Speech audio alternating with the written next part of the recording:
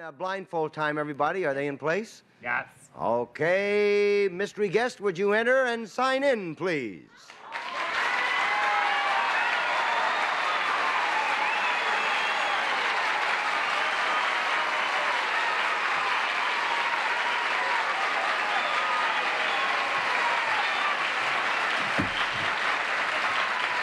Okay, panel.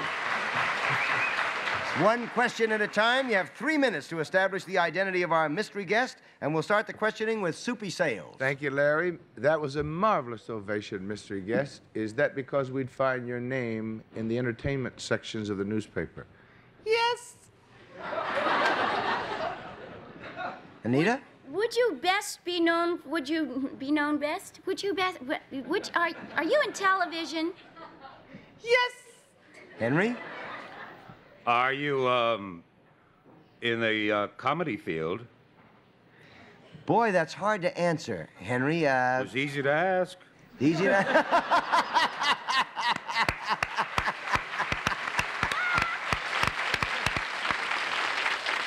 He's not a man who's essentially considered to be a comedian, but he is a man who is amusing. Arlene? Are you seen on a um, on a regular basis on a show? Yes. Soupy? Is that a uh, network show as compared to a rerun?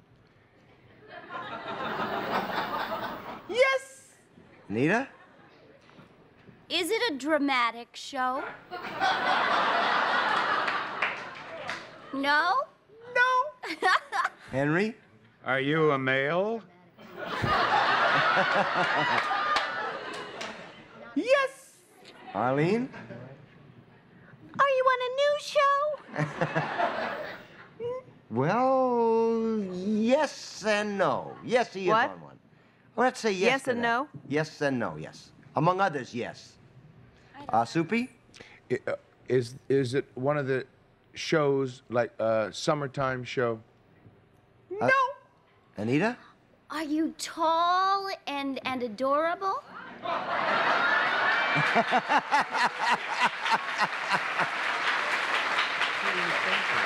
I suppose that's a yes. Yes. Henry? Yes? I don't know anybody in this business who's tall and adorable. But, um, are you on at the same? Uh, at the, now you said partly news. Yeah, uh, among others. oh, partly news oh, show. Oh, are you partly um, Among others. among others? Are you in any way connected with sports?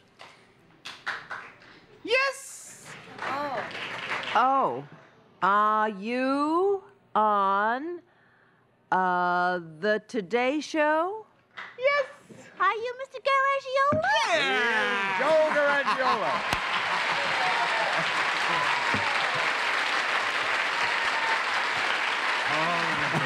Yeah, Tall and adorable, Henry.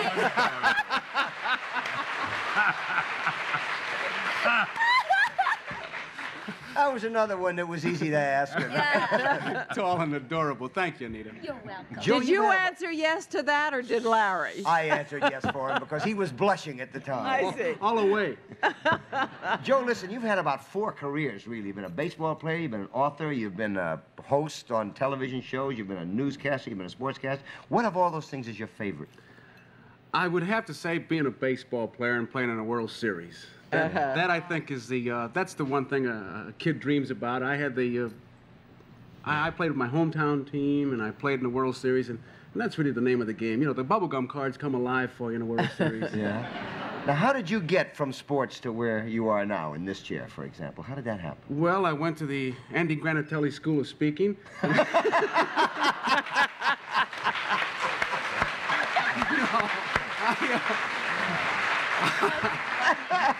Now, I started doing baseball in St. Louis, and then uh, Jack Paar brought me east to do uh, his show, and then I, uh, Tom Gallery, uh, who was then director of sports, asked me to do sports here, and, and then uh, did the Today Show, and then I did a show uh, for Goodson Todman. He said, she said, Yeah. which uh, is since gone, but uh, and now I'm doing Sale of the Century, and it just evolves. That's terrific. Were you always around the clubhouse known as a guy who was fast?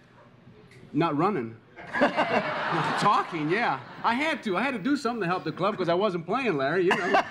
Joe, thank you for being with us. My pleasure. Thank you. They told me we had five seconds to say goodbye. Say it. Goodbye. Goodbye.